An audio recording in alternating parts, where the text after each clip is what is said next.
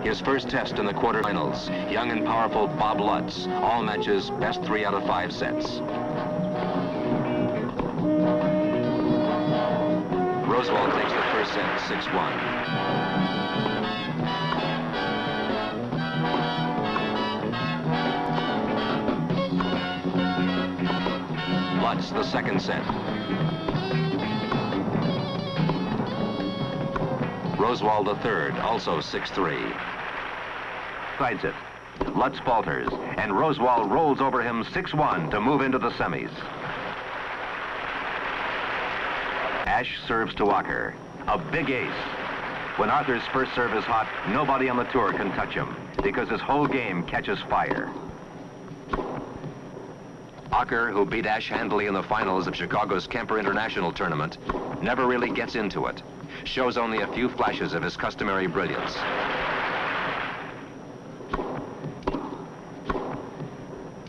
Ashe wins it in three scintillating sets, 6-4, 6-1, 6-3. Cliff Drysdale's trademark, that devastating two-fisted backhand, wreaks havoc against Marty Riessen, catapults him in front two sets to zero. A lapse in concentration by Drysdale, and a spectacular turnaround takes place.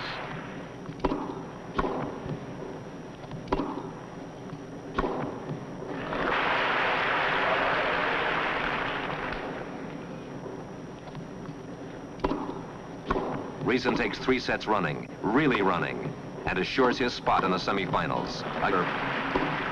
Versus Newcombe. A hard-fought match, but not a long one. A single service break in each set settles it. But unluckily for John, all three of them go to Rod.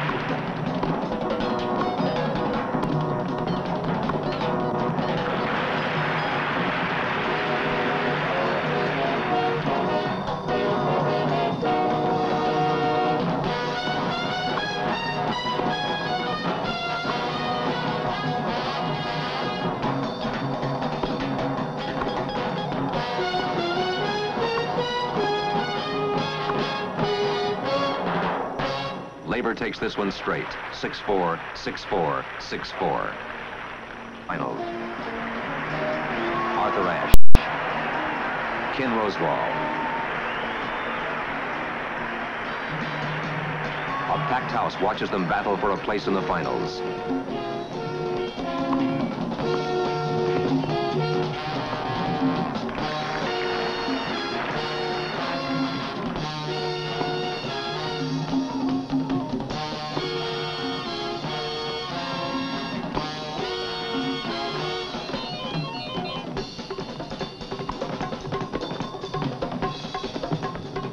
Has lost his magic touch. Rosewall wins the first two sets, 6-4, 6-3. But Ashe surges back in the third.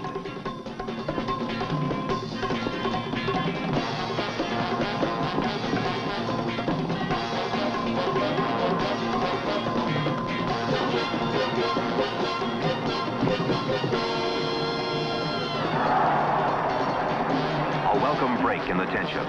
Time out for a sportsmanlike gesture of appreciation for Rosewall's great try.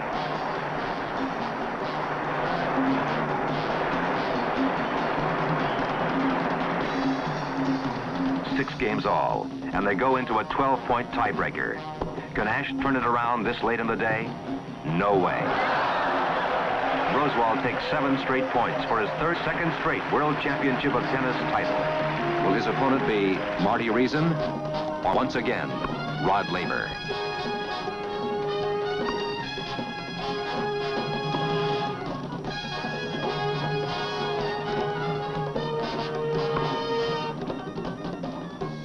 The way it starts out, the chance for history to repeat itself is strictly a long shot because Riessen is right on.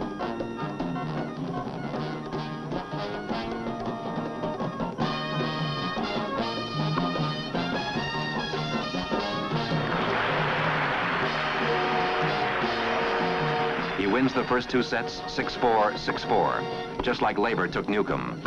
And now he's drawing for three of a kind. But Laver has some aces up his sleeve. With that rematch against Rosewall and the only title yet to elude him as an incentive, he starts turning the tide.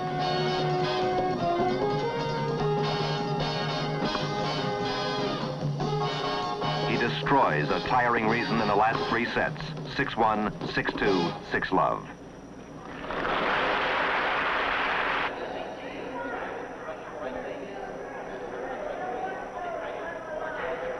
The big one between the big two, Laver and Rosewall. Since Ken won last year's championship in a four-set cliffhanger, Rod had concentrated his attention on turning the tables here. The ultimate test for both of them.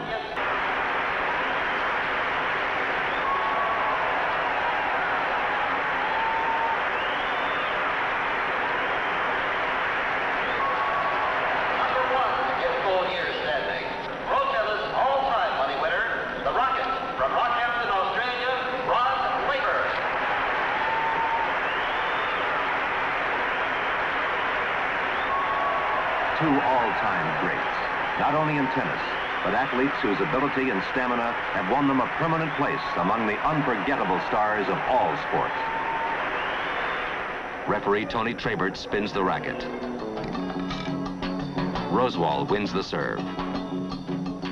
And then the first of 355 points, which will be bitterly fought for tooth, nail, and racket before this marathon epic is concluded.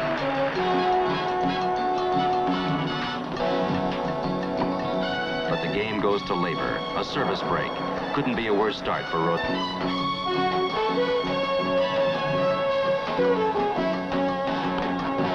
Here, in slow motion, the ballet-like beauty and grace of the sport is fully revealed.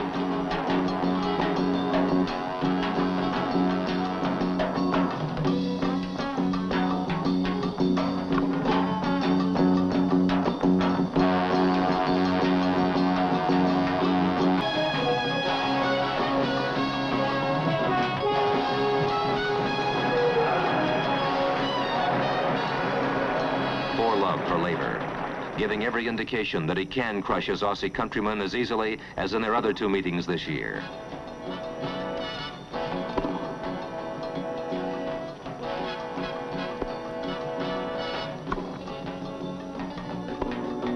But it isn't that easy. Ken serve gets in the groove to make it 4-1. In the next game, it's his advantage. Right now, he can break Laver back.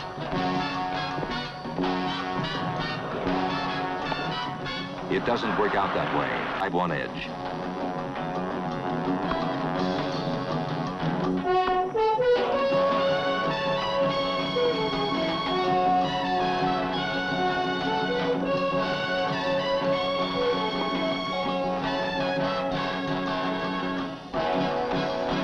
Though Ken loses this fiercely contested point, he takes the next one for a service break. 5-4 now. Ken is coming back strong and has his second service break opportunity.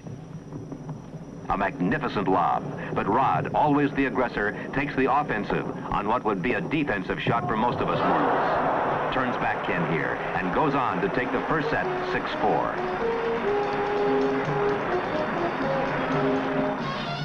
The golden incentive. This gleaming symbol, spurring them on to that last extra effort that is the pride of the champion. Laver wins the point, but this just isn't his set.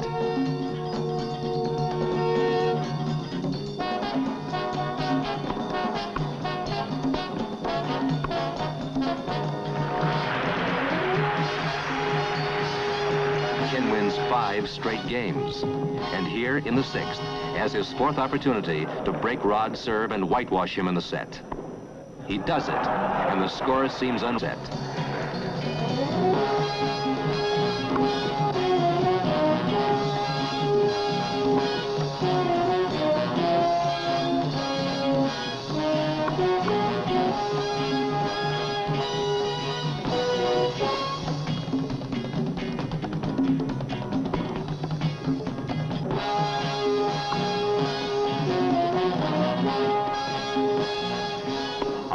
Fantastic backhand get.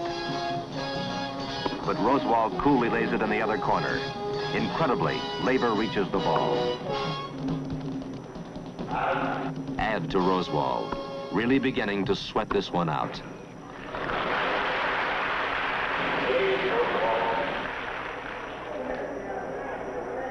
Rosewall leads 5-3 now. 40 love, and Laver fights to stay in it.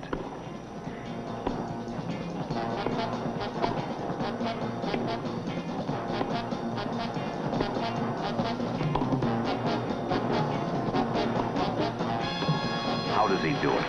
That Laver wrist action is one of the marvels of the game, but it's still set point.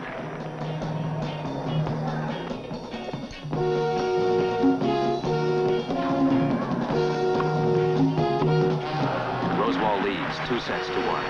If he takes this set, he wins the match from Laver. Namesake to get back in it. Changed my rackets after the third set, and uh, my serve seemed to come back a little bit better then. Uh, but sometimes it's better to serve badly against Ken than it is to play what serve well against him. Serve a fast serve at him, he comes back faster. Rosewall three games, Laver two.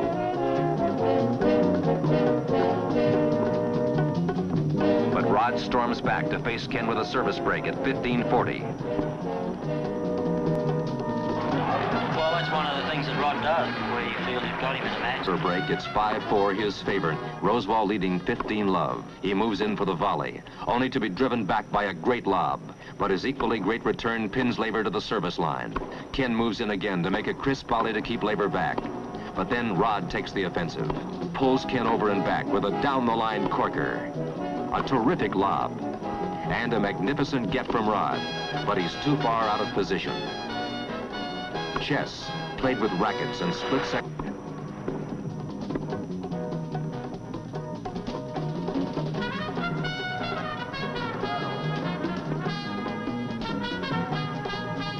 Then Laver holds serve and leads 6-5. Rosewall fights to even it up at six games all and a chance to win it in the tiebreaker. Now it's 40-15.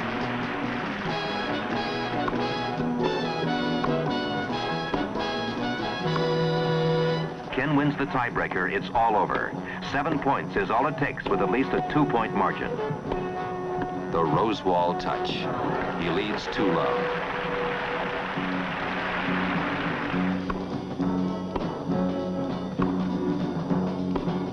Two one. Two all.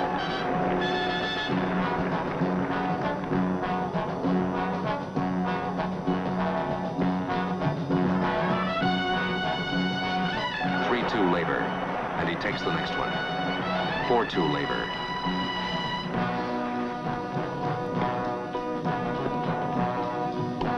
Five two now, and it goes down to the wire. Laver leading six three.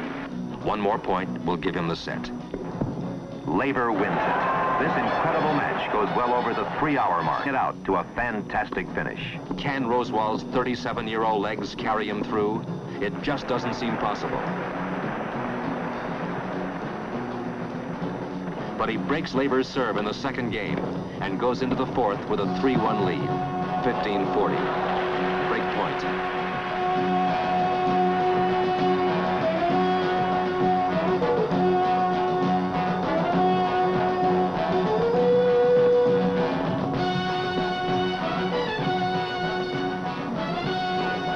340. The deuce.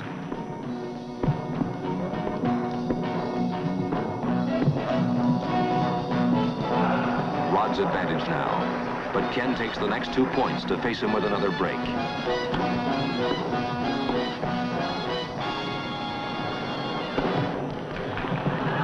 How long can he keep this up? Laver's end. He must take this game. To be denied. On the 17th point of this seesaw struggle, he gets the advantage. And now, Rosewall leads 3-1.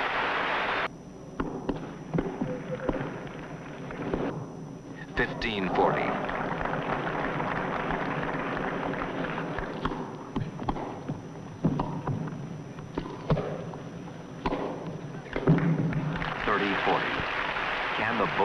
Roswell Rosewall pull this one out of the fire? No. Rod breaks serve, and now Rosewall leads 4-3. The match rolling past the three and a half hour mark.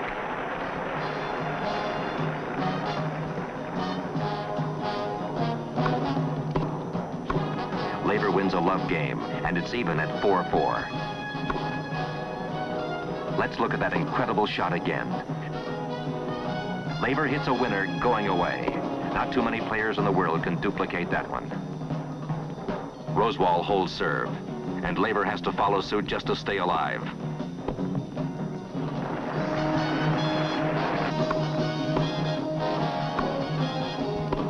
Fifteen all. I was hoping Rod would serve to a backhand there. Felt that I'd, I'd give that a bit of a shot. It to 30-40 match point. Laver's back is a... Rod survives the crisis to take the game. And in the crucial 12th game, Rod is still under the gun. He must hold serve. 30-15. 40-15. Rosewall takes the next point, and it's Laver's advantage. Now almost everyone in the vast crowd is rooting for him. It seems not only fitting but absolutely essential that this match go down to a fifth set tiebreaker to cap its ever-mounting drama with a climax of almost unbearable suspense.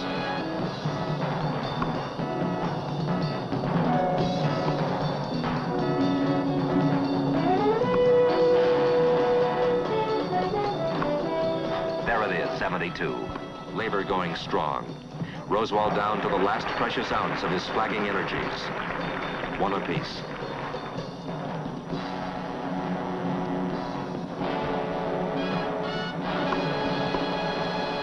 Two one Laver.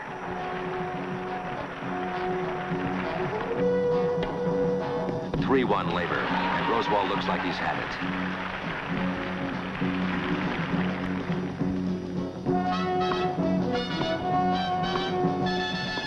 it. Three two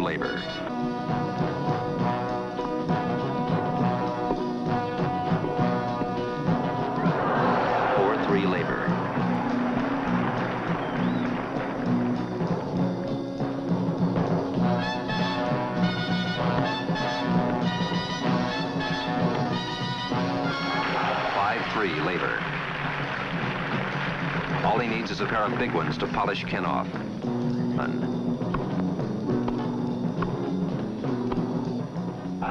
Five four Laver.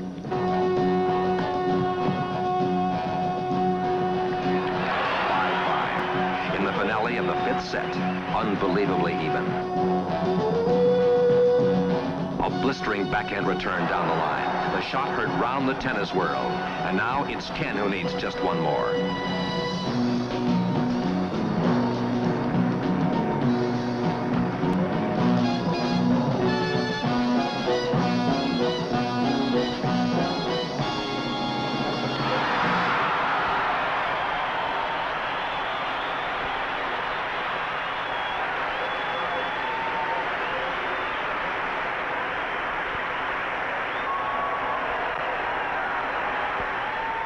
Two points difference between these two tennis immortals after playing for three hours and 45 minutes. I'm just about out of breath. We're just about all out of time. I'm very happy about winning. I'm sorry that there can't be two winners too.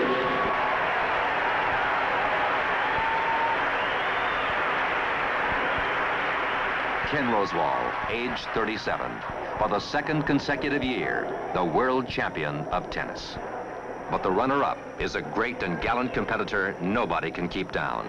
Rocket Rod is ready for the next one. Well, I always say third time lucky, so everybody better look out next year.